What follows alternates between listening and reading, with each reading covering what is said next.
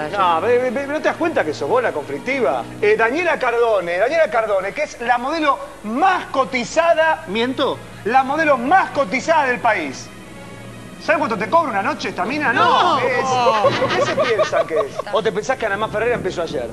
¿Empezó ayer Ana Más Ferreira? Mirá lo que es, perdóname. Con Ana mirá Más lo voy que a es. hablar después. Mirá lo que es Ana. Ferreira. Hermosa.